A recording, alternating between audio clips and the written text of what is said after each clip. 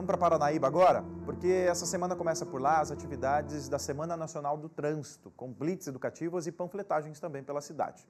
E quem traz informações completas para a gente é o nosso querido Alex Santos. Bom dia, Rude. Bom dia a todos que acompanham o TVC Agora. E começa hoje em Paranaíba as atividades da Semana Nacional de Trânsito. Este ano o tema é No Trânsito, Sua Responsabilidade Salva Vidas. A ideia da semana voltada ao trânsito é fazer as pessoas refletirem sobre a responsabilidade de cada um para tornar o trânsito seguro para si e também para os outros.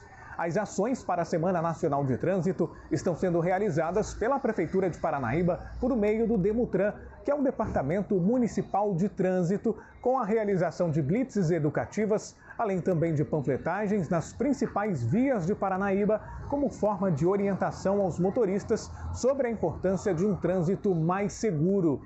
A programação aqui no município segue até o dia 25 de setembro, encerrando com um passeio ciclístico com saída da Avenida Três Lagoas, percorrendo aí as principais regiões aqui da cidade, principalmente a região da Praça da República e finalizando na Praça Espelho d'Água, onde também haverá um sorteio de brindes para os participantes da ação. A Semana Nacional de Trânsito acontece anualmente entre os dias 18 e 25 de setembro. É o período definido no Código do Trânsito Brasileiro para a intensificação das orientações para educação com o objetivo de reduzir também os índices de acidentes e vítimas.